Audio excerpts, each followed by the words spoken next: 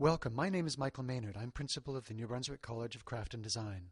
Located in downtown Fredericton, the college offers a range of full-time programs, a one-year foundation certificate in the visual arts, two and three-year diploma programs, a four-year Bachelor of Applied Arts degree delivered in partnership with the University of New Brunswick, and a one-year graduate diploma combining advanced studio practice in craft, art, or design with an entrepreneurship focus throughout.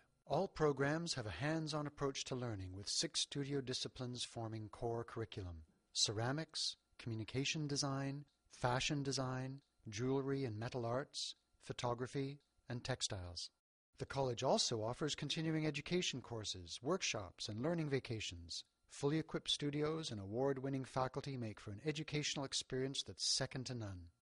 We look forward to seeing you soon.